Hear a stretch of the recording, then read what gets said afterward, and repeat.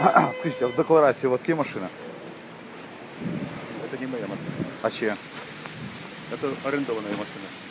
Вам? Скільки ви платите за оренду?